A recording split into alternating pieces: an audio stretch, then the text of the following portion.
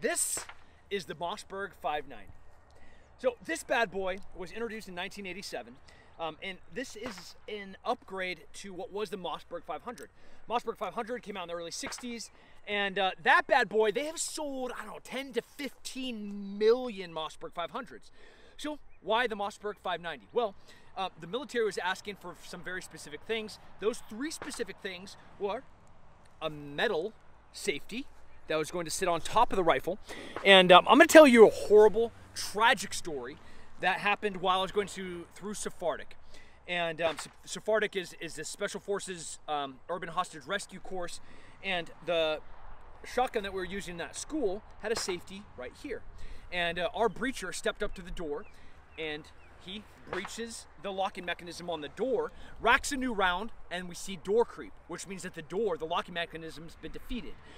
He decides he doesn't need to take another shot, but he's always already racked around, and he does the right thing. He tries to put his weapon on safety as he's rolling out of the door. Well, as he's rolling out of the door, in comes the number one guy to go and move into the room, shoot center, and step in. As he was manipulating the safety, the glove for the breacher's hand, while he was trying to put it on safe, hit the trigger, discharged around, and went into the leg at point blank of the number one guy going through the door. Um, it was ho- horrific. And um, one of the reasons that we wanted the safety up on top.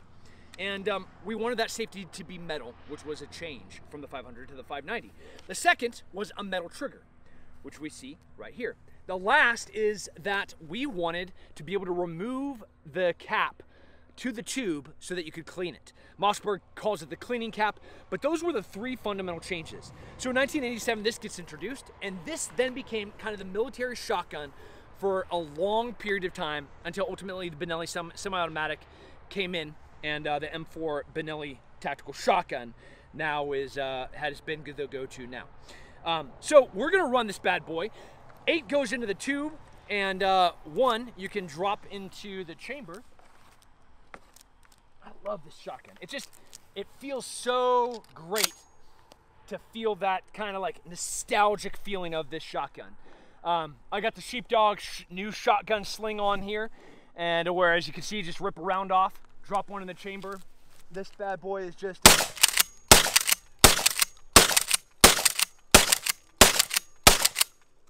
Woo!